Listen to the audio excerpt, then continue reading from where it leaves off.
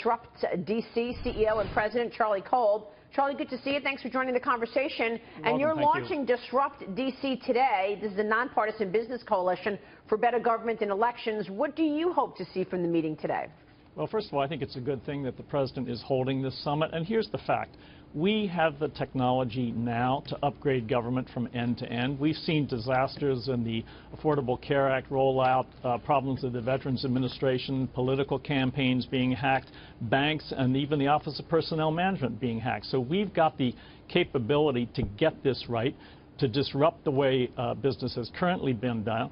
And Harvard professor Michael Porter said that the number one thing standing in the way of greater competitiveness and economic growth is our dysfunctional government.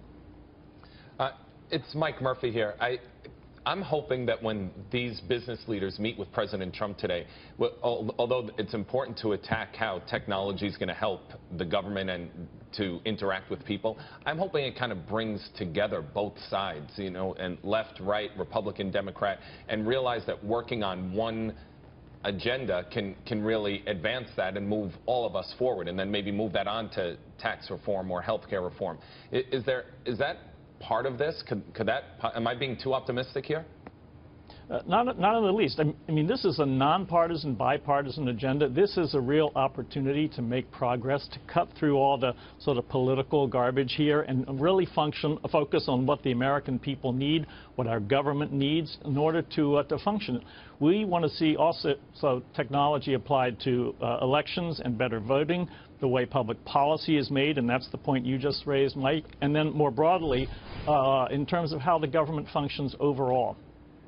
Hey, Charlie, uh, Mike Baker here. Uh, because we only have guys named Mike on the show this morning. uh, do you think it's really uh, realistic to talk about something that could be done in a nonpartisan, bipartisan manner in today's environment?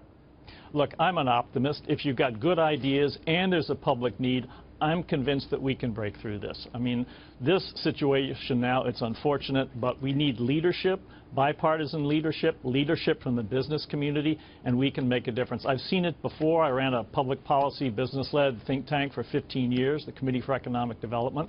We had an impact on campaign finance reform, early childhood education. Business is an important voice here, and again, I think ex exactly this type of technology council here can show the American people that people can come together and get things done. What we about, need this. What about getting things done in terms of the agenda? I mean, you know, yesterday I spoke with Alabama Congressman Mo Brooks uh, on Sunday Morning Futures, who walked through whether or not we are going to see things like health care reform and tax reform this year. Listen to this. The Senate, once again, is empowering the Democrats to be obstructionists and to block what President Trump, what the majority of the House and the majority of the Senate was elected to accomplish, much to the dissatisfaction of all those voters who sent us to Washington, D.C. So unless the Senate changes the way in which they operate, I'm afraid you're going to continue to see this kind of deadlock without the kind of improvements that the people sent us to Washington, D.C. to implement. So, Charlie, you say Disrupt D.C. is trying to break that type of gridlock in Washington. And yet, you've got all the finger pointing going on right now. Why is the Senate sitting on the health care bill? When are we actually going to get uh, movement on this agenda?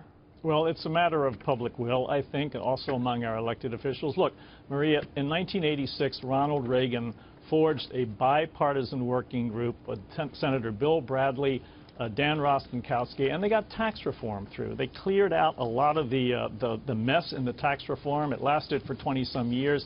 The barnacles have grown back. We need to do that again. So there are examples when we've done it before.